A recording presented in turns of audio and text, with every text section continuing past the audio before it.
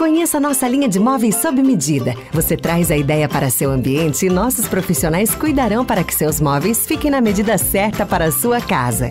Bem-Estar Móveis. Fazemos da sua casa o seu lar.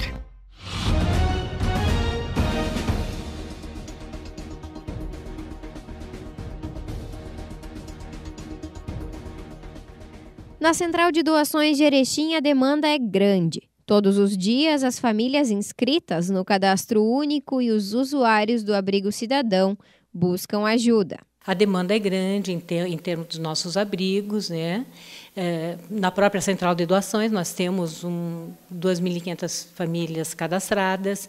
As próprias entidades que muitas vezes nos procuram, né, sabedoras de que nós temos um, uma, uma receptividade em, em, termos de doação, em todos os sentidos, roupas, é, roupa de cama, a, a, demais agasalhos quentes, calçados. Só que com a chegada do inverno, os atendimentos por aqui praticamente dobram. Hoje, a Secretaria de Assistência Social disponibiliza cerca de 10 peças a cada integrante das famílias que fazem parte do cadastro único. Gilce já veio pela segunda vez até a central em busca de roupas para os dois filhos pequenos.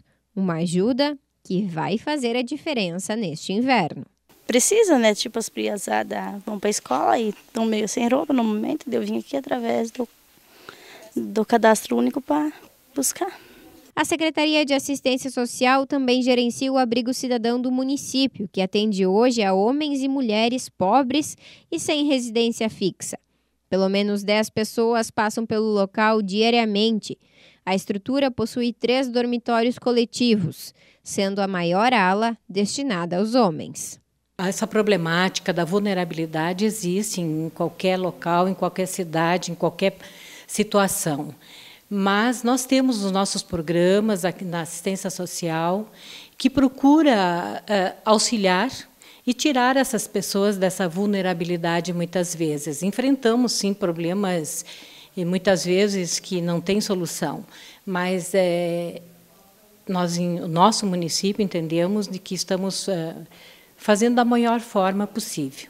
A população em vulnerabilidade, ela tem o seu o seu acolhimento. Eu não diria que é um número crescente, porque nós temos um cadastro de Bolsa Família, nós temos um cadastro único que visualiza essas necessidades. E eu digo assim para você, Paloma, de que se procura fazer. E você pode ajudar essas pessoas com agasalhos e alimentos. Para doar, basta procurar um ponto de coleta da campanha do agasalho desenvolvida pela Câmara de Dirigentes Logistas em parceria com a Prefeitura.